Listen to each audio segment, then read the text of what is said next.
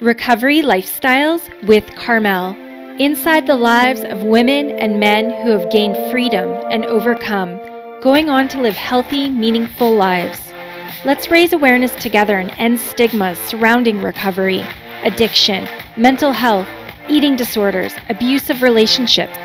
These are stories of those who have recovered and are now living lives that are inspiring and on purpose.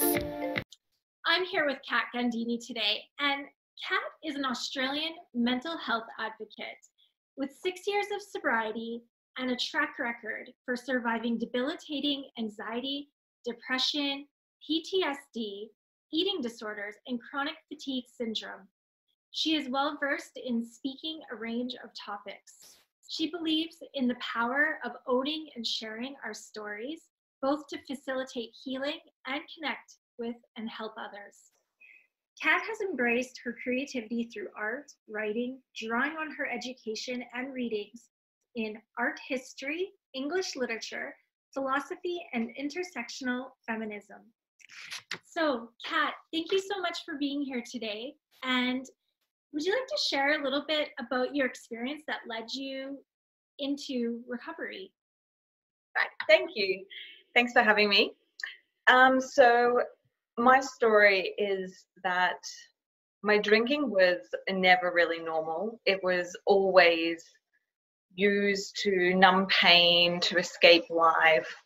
Uh, it was always just me hitting that exit button. And, and a lot of people talk about they had normal drinking until they crossed some kind of line or something happened in their life and then they started abusing alcohol more but for me, just uh, basically the minute I tasted it, it became a problem for me.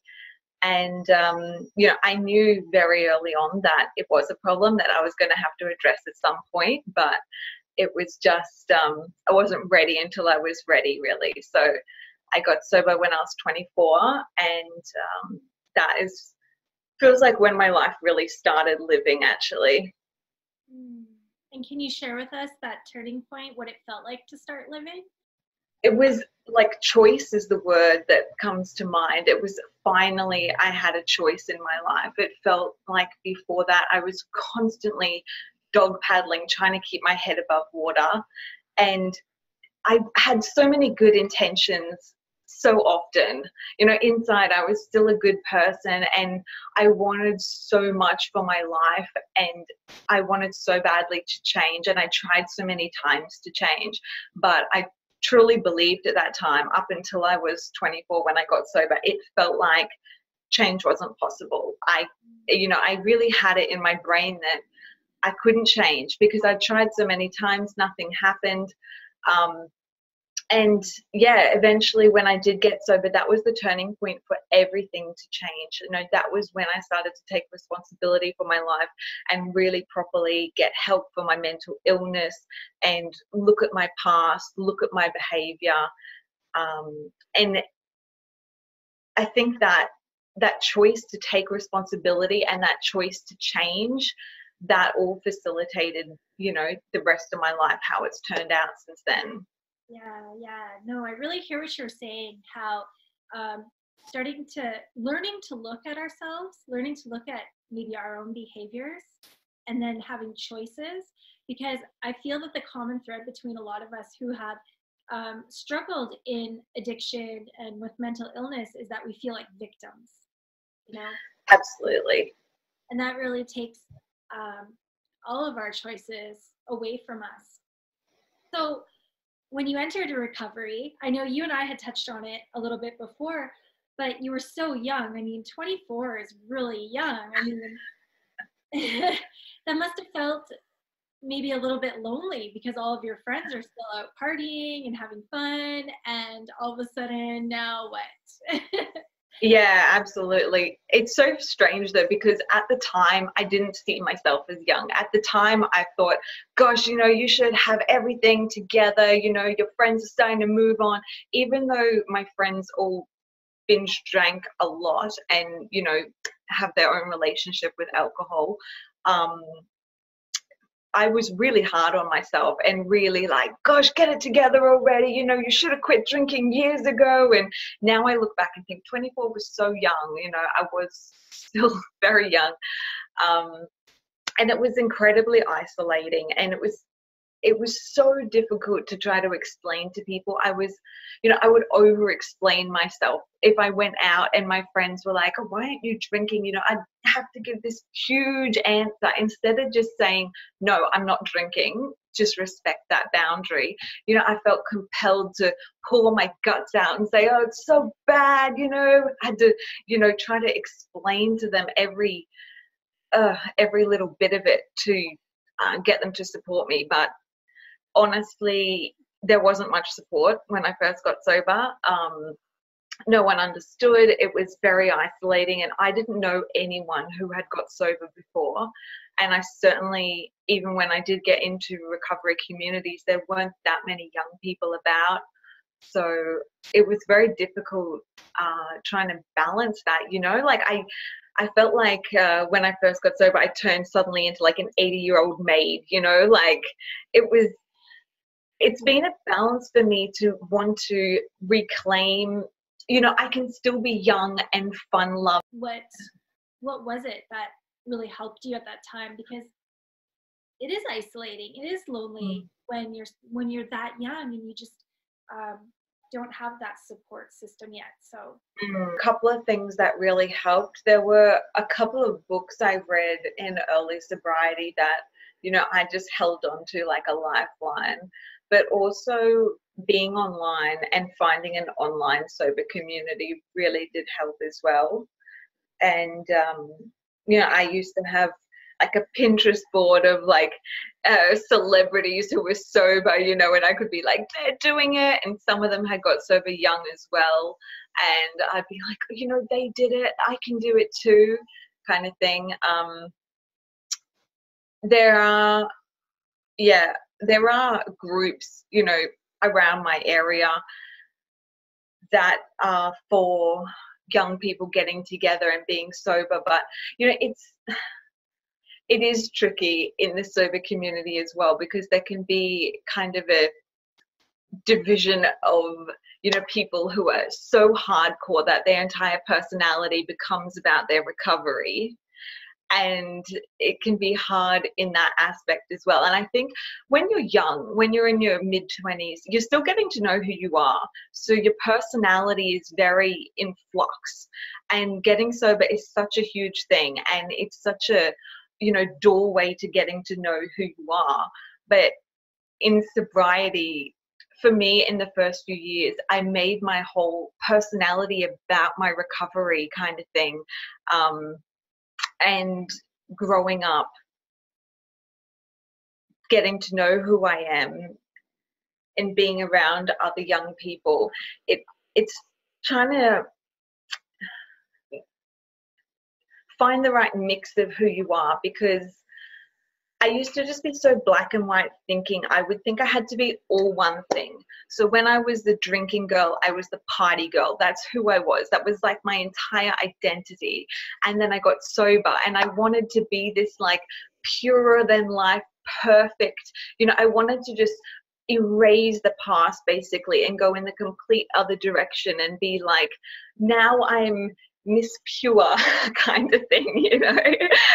um, and you know that's what I meant when I said like I tried to kind of jump to being like a 40 year old or something. Like I wanted to just skip all that messy bit in between and just get to the afterwards. And you can't do that. You have to um, you have to put all the pieces together and work out you know what i am still have a little bit of this cheeky party girl personality and that's okay like that's okay to keep that and i don't need to drink to have that but i can still you know have that little piece of me that was still that girl and then i can also have this piece of me that you know that wants to do yoga and wants to be pure and wants to be connected you know with my spirituality with my higher power. Um, i can be the part of me that you know is an achiever. I can have all these different assets of me. I can be the granny who just wants to stay home, drink tea, read books. You know, I can also be the science fiction nerd. I can be everything. And um, I think that was really important for me being young in recovery as well.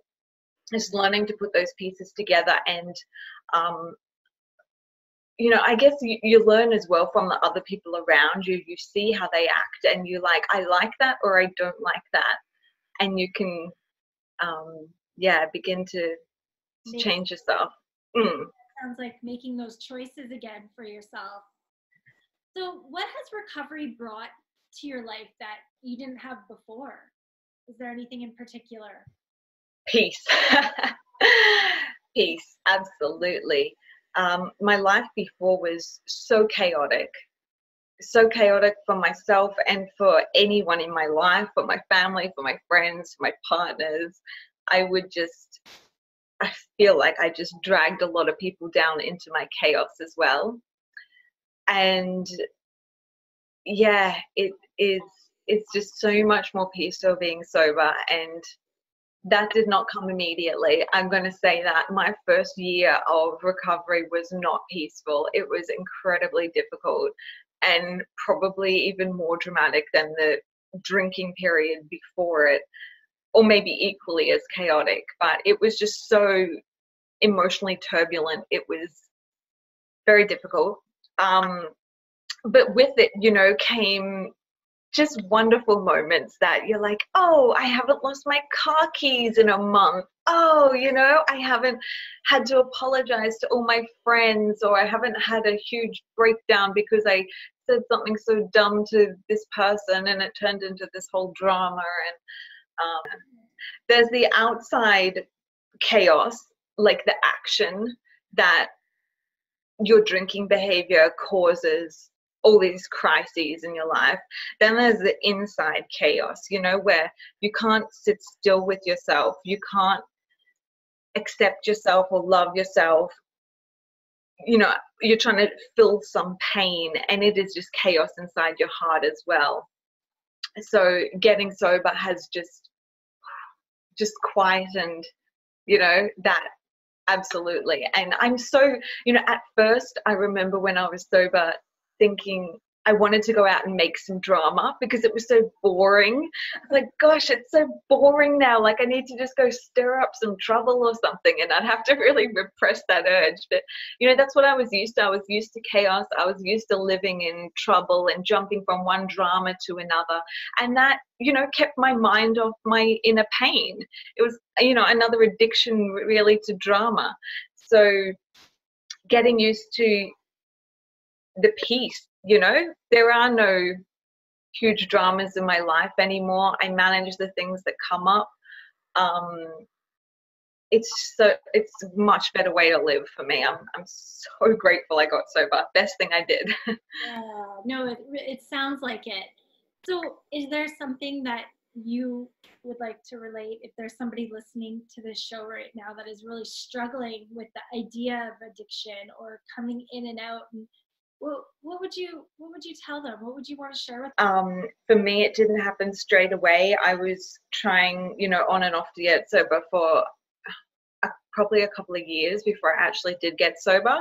Um, once i had truly made the decision i'm pretty lucky in that it did stick for me.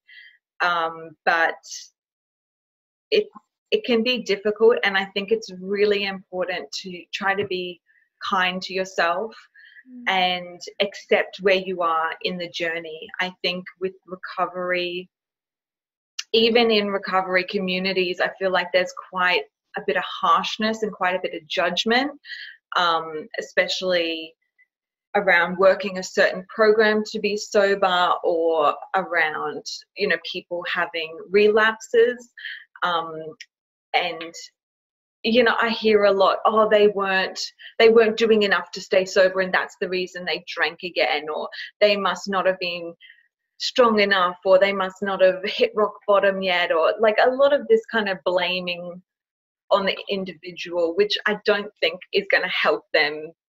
I've known a number of friends who that really um, precipitated another relapse for them.